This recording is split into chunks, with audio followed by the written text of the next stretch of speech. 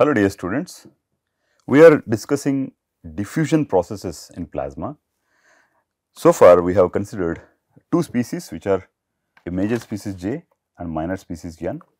The major species is uniform at equilibrium and minor species has a concentration gradient along x and when this minor species goes through major species it will encounter a lot of collisions and because of these collisions there will be a force and there will be additional force due to the concentration gradient. These two forces should be uh, equal so that we have uh, the drift velocity constant right.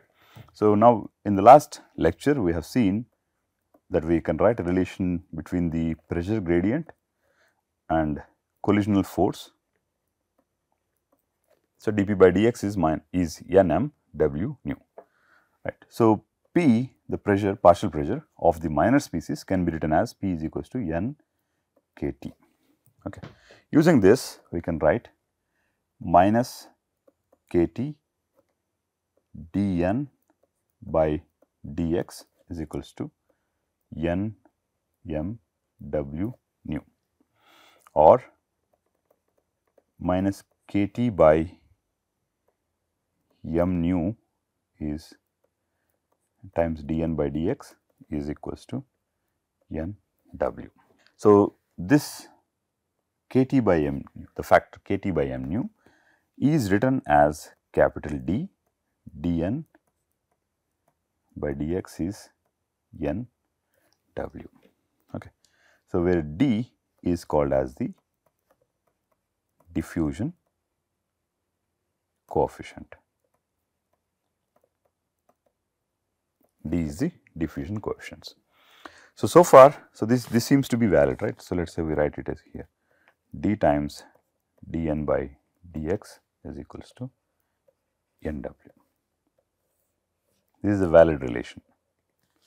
As long as we do not have any gravity field and the concentration gradient is only along the x direction, right.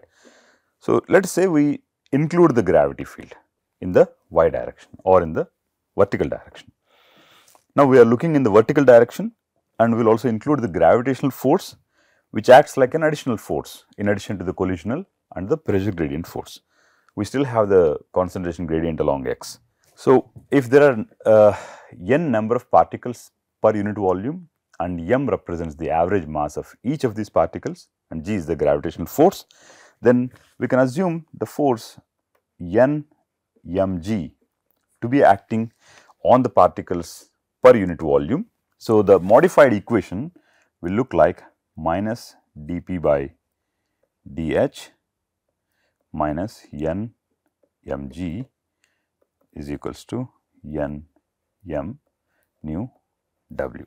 So, using p is equals to nkt just like we did last time we can write minus kt by m nu dn by dh minus nmg by m nu is equals to nw or minus kt by m nu times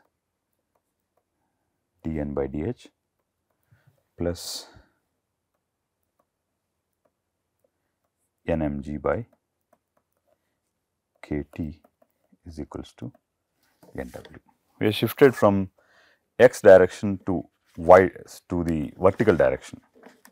You call it as uh, h.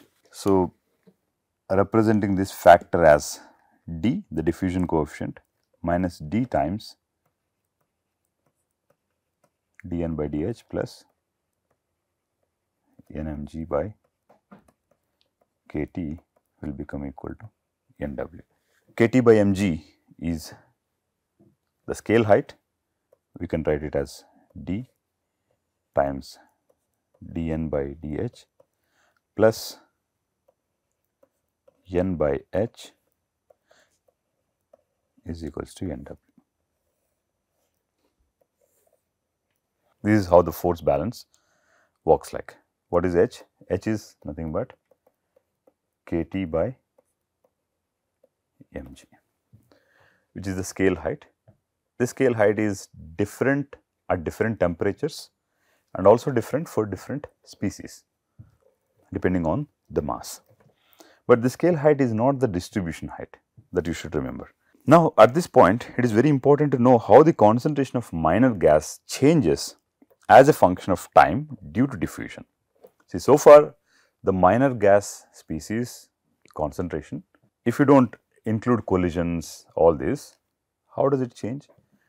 Since there is a gravity field, you can write N to be the minor gas concentration per unit volume with reference to a uh, standard value, it is something like this. Simple.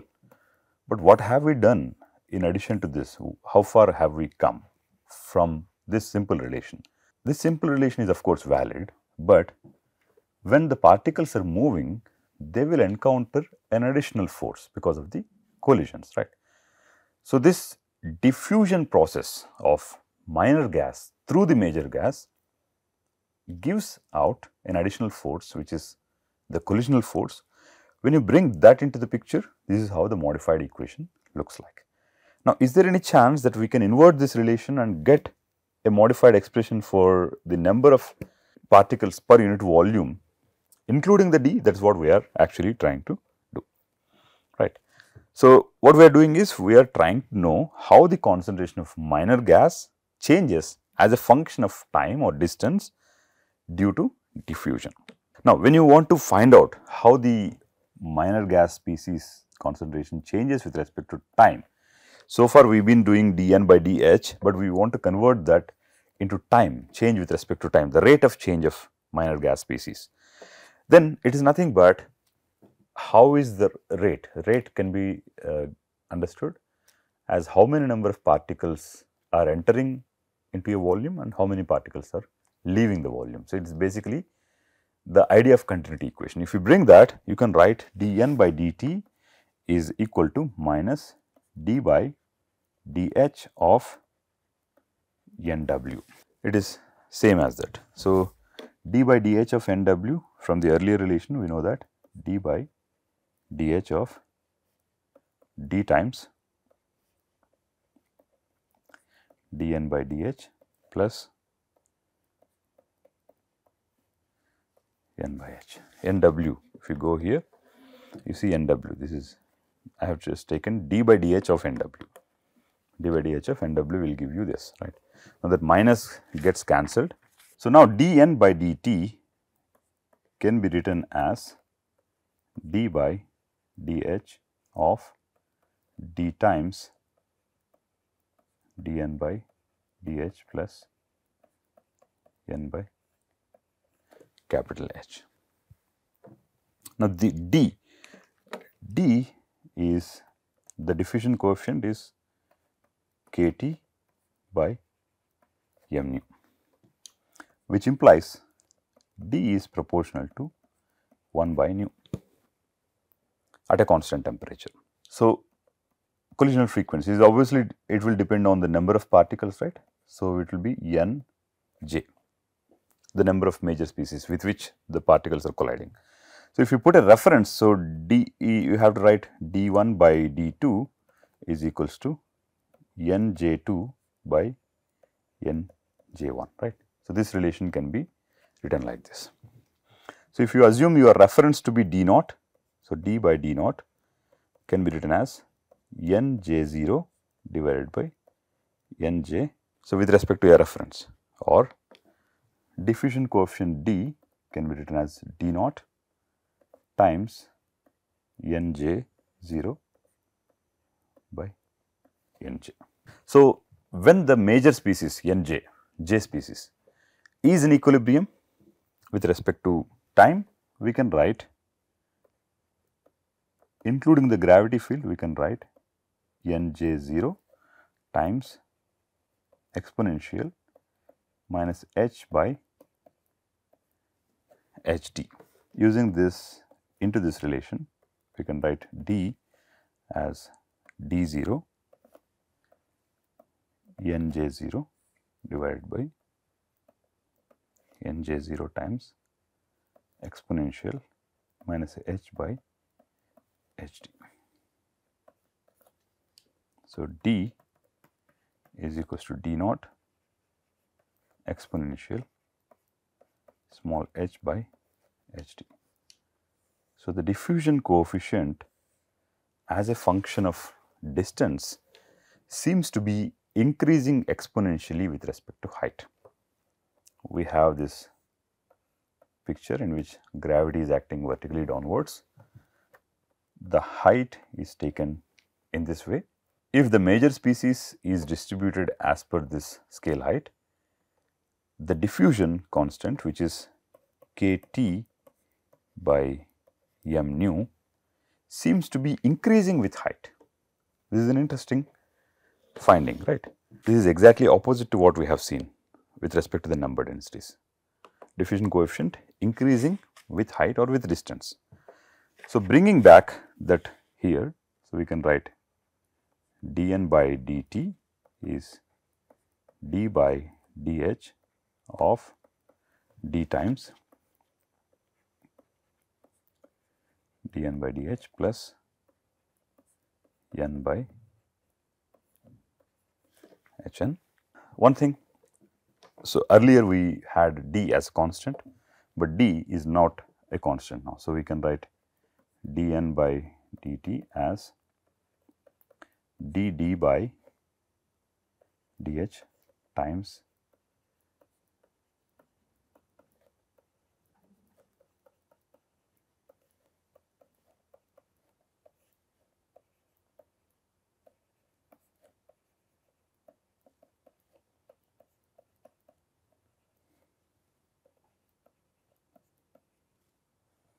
You see what I have done? What I have done is just took the derivative inside and d is also changing with respect to height exponentially positive variation. So, we have uh, used the chain rule to apply the derivative on d once and apply the derivative on everything that is there inside this bracket.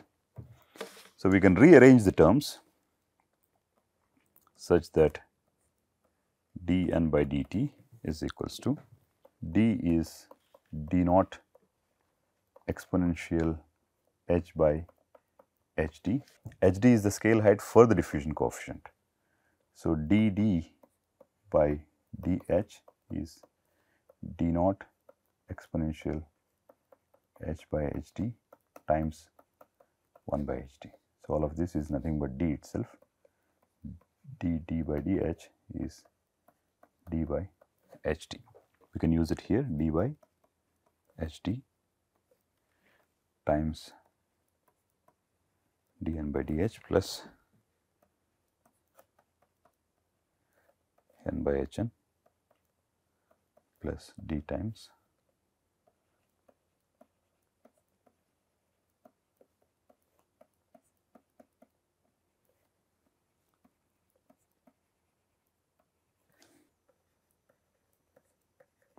the rate at which the concentration of minor species changes with respect to time due to collisions and diffusion dn by dt. Rearranging all these terms, we can write d times d square n by dh square plus 1 by hd plus 1 by hn times dn by dh plus n by hd hn. You see this is a very important relation. It has the scale heights of small n as well as capital D, where D is kT by m nu and varies as d naught exponential h by hd and the concentration of minor species with respect to distance n naught exponential minus h by hn. Okay. So, this is with respect to space, this is with respect to time. So, we have uh, this relation, let us take this relation once again dn by dt the rate at which concentration of minor species changes with respect to time seems to be dependent on how it changes with respect to space and how the diffusion coefficient changes with respect to space. Is d times d square n by dh square plus 1 by hn plus 1 by hd times dn by dh plus n by hn hd. So, if you see this I have probably skipped one or two steps of algebra between these two relations. You can work it out you will eventually get the same form that I have written here. So, what it implies is that when the major gas is distributed as per the gravitational field, it decays exponentially. You will find that the diffusion coefficient is increasing with respect to the, it is exactly opposite. Okay.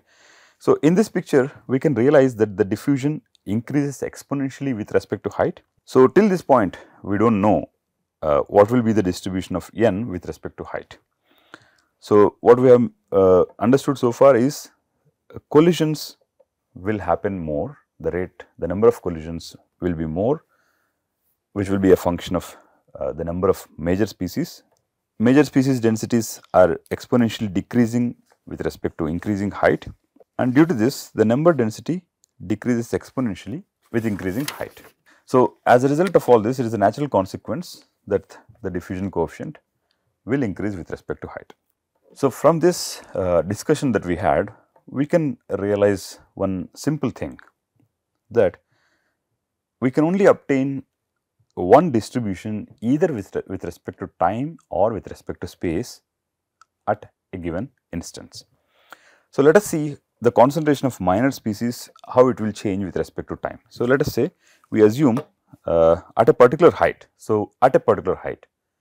So, we cannot take both the things together change things changing with respect to time and with respect to height it is not possible. So, what you can do is you can fix at a particular height and here you can vary the time and find out how it will change dn by dt. So, let us say at a particular height the minor species are varying there only as n is equals to n naught exponential minus h by delta.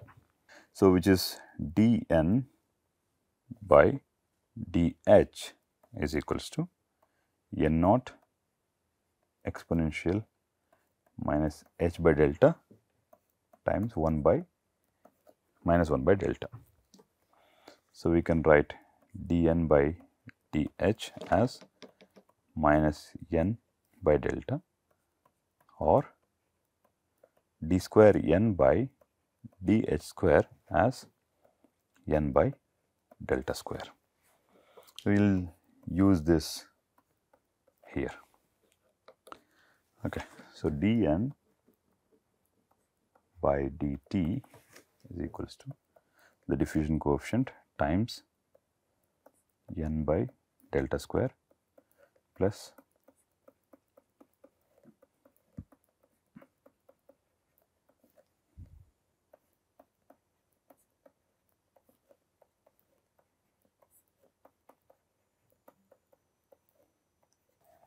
slightly rearranging the terms, we can pull out n and write it as 1 by delta square minus 1 by delta times 1 by hd plus 1 by hn